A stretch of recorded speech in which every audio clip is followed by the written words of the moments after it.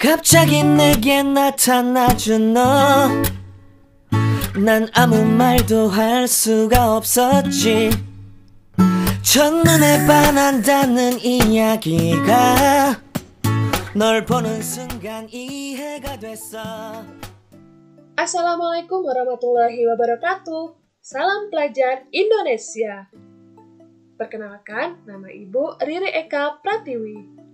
Kali ini Bu Riri akan mengajak kalian untuk belajar bahasa Indonesia tentang teks persuasi. Sebelum kita mulai, kita berdoa dulu yuk untuk menambah keberkahan ilmu yang kalian dapatkan hari ini.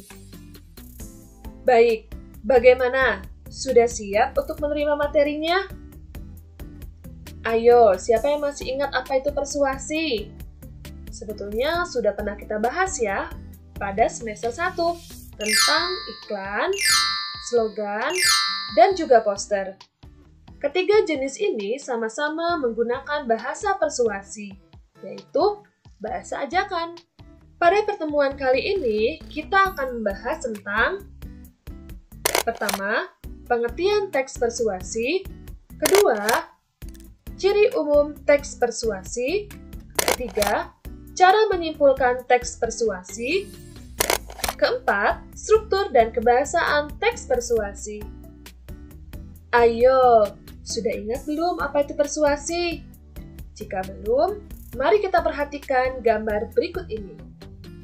Perhatikan gambar di bawah ini untuk menyimpulkan pengertian teks persuasi. Pertama, teks yang bersifat membujuk secara halus agar orang lain merasa yakin dengan kita. Kedua, teks yang bersifat ajakan atau larangan. Ketiga, teks yang berisi saran kepada orang lain. Dari ketiga pernyataan ini, maka dapat kita simpulkan bahwa Teks persuasi merupakan sebuah teks yang bersifat ajakan, larangan, atau saran yang membuat pembacanya memiliki pemikiran sama mengenai suatu hal. Bagaimana?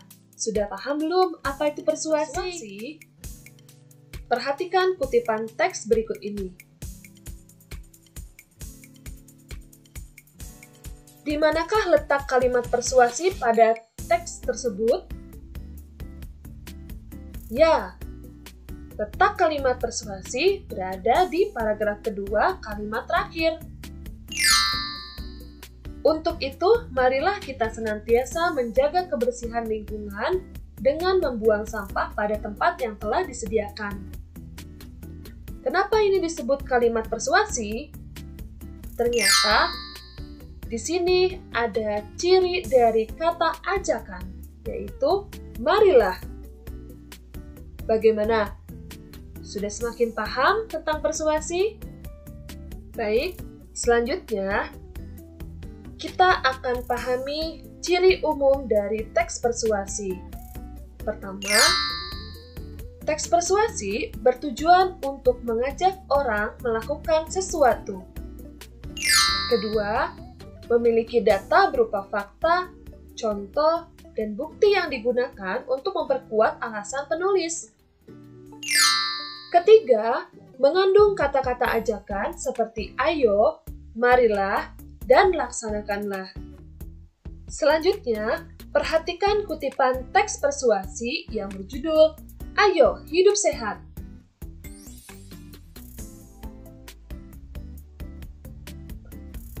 Dari kutipan teks tersebut, fakta-fakta apa sajakah yang dapat kalian temukan Perhatikan garis yang berwarna merah. Garis tersebut merupakan fakta-fakta yang terdapat dalam kutipan teks Ayo Hidup Sehat. Jika kita simpulkan dalam satu paragraf dari teks Ayo Hidup Sehat sebagai berikut. Kondisi fisik bergantung pada aktivitas manusia. Tubuh akan mudah terjangkit penyakit jika kita tidak menjaganya. Banyaknya penyakit baru yang bermunculan disebabkan oleh penurunan sistem imun dalam tubuh. Selain itu, makanan yang dikonsumsi juga tidak mengandung vitamin dan mineral yang cukup.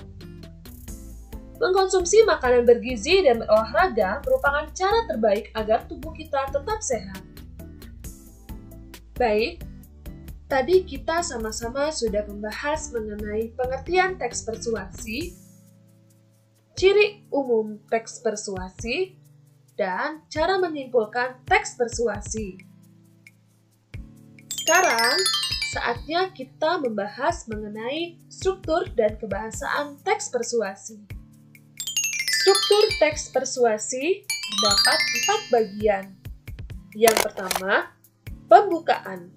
Memuat pandangan awal penulis yang menempatkan topik pada suatu rangkaian kalimat yang relevan. Kedua, tesis. Gagasan penulis dari topik yang diangkat. Ketiga, argumen. Memuat alasan berupa bukti yang dapat mendukung tesis. Keempat, rekomendasi, bagian penutup dari teks persuasi. Berikut ini contoh dari tesis.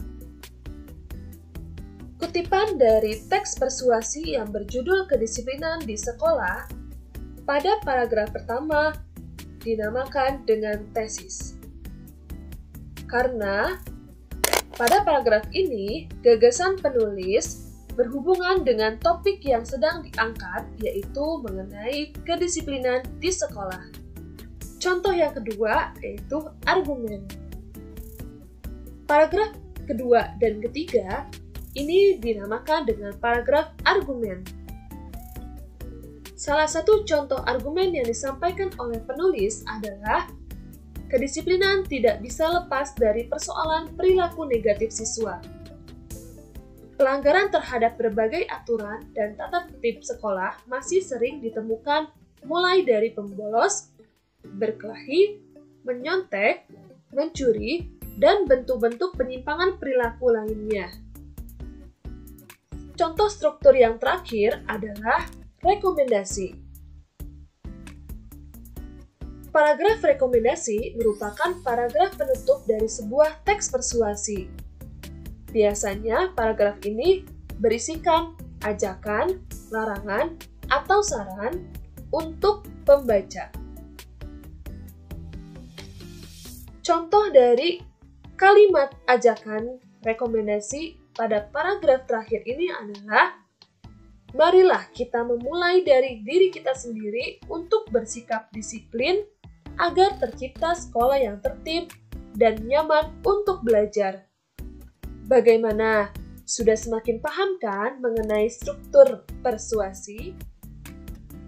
Pembahasan terakhir adalah mengenai kebahasaan teks persuasi.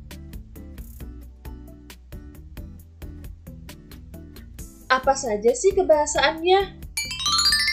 Terdapat lima kebahasaan dalam persuasi. Yang pertama mengenai kata kerja yang menyatakan penjelasan. Contohnya merupakan, ialah, dan adalah. Kedua, konjungsi yang menyatakan tujuan dan penjelasan. Contohnya, agar, supaya, dan untuk. Sementara itu, konjungsi penjelas contohnya yaitu bahwa. Ketiga, konjungsi sebab akibat atau kausal. Contoh dari konjungsi sebab, karena, oleh karena, dan sebab. Contoh konjungsi akibat, hingga, maka, sehingga, dan sampai. Kebahasan yang keempat adalah kata tugas yang menyatakan ajakan atau larangan. Contohnya, ayo hendaklah, dan mari. Terakhir, penggunaan partikelah dan kah. Contohnya, partikel ini sebagai penegas saran, ajakan, atau larangan. Baik, itu tadi pembahasan mengenai struktur dan juga kebahasaan teks persuasi. Selanjutnya, tugas kalian adalah membuat teks persuasi dengan tema pentingnya menjaga kelestarian lingkungan berdasarkan struktur dan kebahasaan yang sudah kalian pelajari. Baik anak-anak, kita simpulkan pertemuan hari ini ya. Dan berbuat baiklah, karena sesungguhnya Allah menyukai orang-orang yang berbuat baik. Quran Surat Al-Baqarah ayat 195